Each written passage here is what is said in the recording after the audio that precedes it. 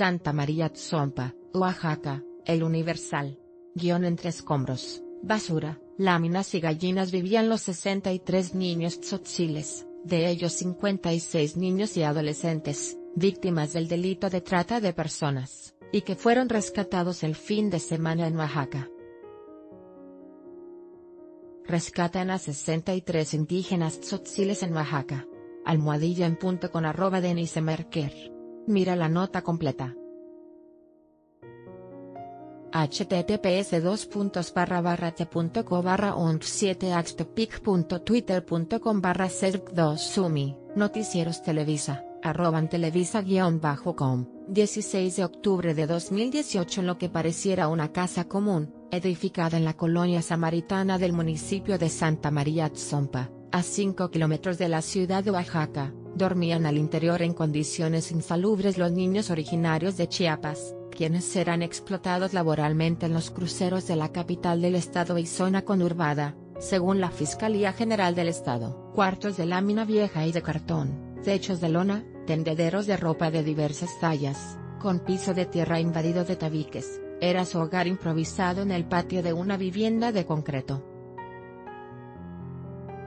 Luego del operativo de la Agencia Estatal de Investigación, AEI, dependiente de la Fiscalía de Oaxaca, afuera de la vivienda cinco policías estatales y municipales resguardan el inmueble, mientras en el interior se observan las huellas de la explotación infantil.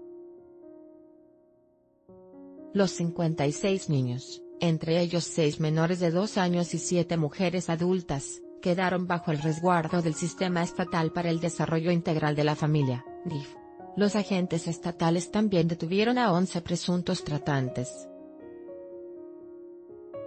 Eviten revictimizar después de este hecho, cruceros de la capital de Oaxaca, y municipios cercanos se observan sin ninguna presencia de niños, y adolescentes que hasta la semana anterior se dedicaban a vender diversos productos a los automovilistas y a pedir dinero, luego de hacer prácticas de payaso y malabarismo por un recorrido en los principales cruceros de la ciudad, como Boulevard Manuel Ruiz y Violetas, esquina con Belisario Domínguez y con la Escuela Naval Militar, así como en el cruce del Monumento a la Madre, y constató que no había niño laborando. Al respecto, el director general de la Asociación Civil Centro de Apoyo al Niño de la Calle, Canica, en el estado, Rafael Bucio Escobedo, pidió a las autoridades de Procuración de Justicia llevar un debido proceso, en el cual eviten revictimizar a los menores de edad, y se les garantice la protección de sus derechos.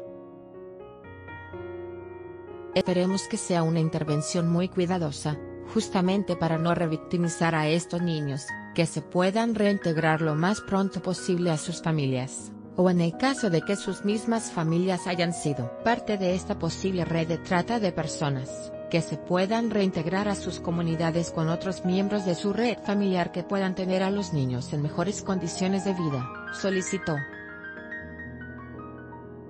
El rescate de los 63 tzotziles ocurrió seis meses después de que la Fiscalía de Oaxaca reconociera que abrió una carpeta de investigación por el delito de explotación laboral infantil, que incluía el caso de más de 50 niños chiapanecos.